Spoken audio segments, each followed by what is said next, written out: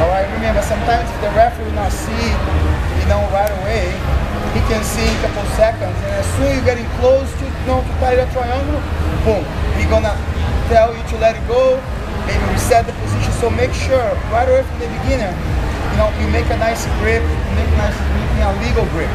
That's the biggest thing, all right? After that, what they're gonna do, I'm gonna try place one knee, you know, under his armpit, and the other knee go outside his armpit.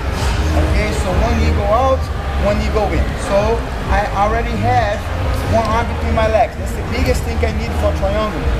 Alright, so I don't want to work triangle that way. Okay, always this arm should be between your legs. This way or this way. Okay, right now I choose doing this way. So now what I'm gonna do, I'm gonna move my legs a little bit back. Okay, move my body back a little bit. Why? Because I need space to shoot. Alright, to go to triangle here.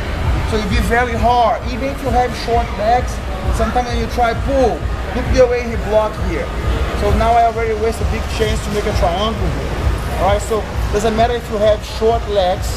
Alright, people the guy can see a lot. When you start moving and lift your hips, he see you know triangles coming and now he go you know, his posture, maybe he stay heavy if he's a little bit heavier than you. So it's not a good idea try work right away after after you walk your guard. So you work in here, I move your body back a little bit. So now I'm here, I'm still control.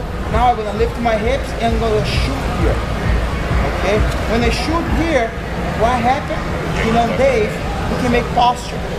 posture Sometimes he do posture like that, but sometimes, most of the time when he stay on the ground, he does posture like this.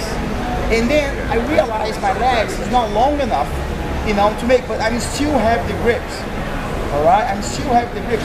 So instead, try force my triangle. Uh, instead, try go to omoplata here and miss this arm. I'm gonna keep control both arms and this leg gonna come under his arm and then I'm gonna cross my legs over here. So now I trap his arm. I can let it go this arm over here and hold, you know, his other sleeve here. This one is the only one I'm not allowed to let go.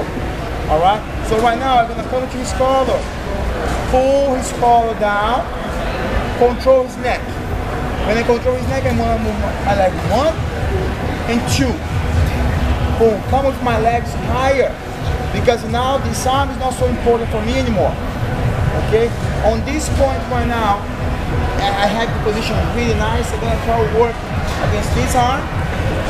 You know, putting this arm across my body, holding my knee, holding my shin, my foot now go on the floor, right guys, my foot go over here, over his hip, I'm gonna start shift my body, all right, and lock a big triangle. Okay, I'll be right here, boom, make my grip, look at him, one, two, move back a little bit, good enough for your legs. Now, lift your hips and pull, posture, right away, hold his arm. As soon as you hold his arm here, you can let it go this one. Go to his collar. Pull down. Very easy to pull down, guys, alright? He lost his arm over here. It's so hard for him to do the posture.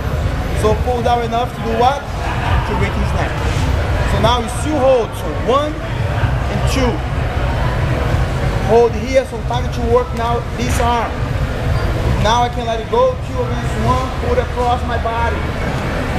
Know, I'm gonna come with my arm over Strap my knee, hold my knee here, hold my shin, over his hips, not on the floor, over his hips, and shift. And now cross, squeeze my knees, and then pull his neck.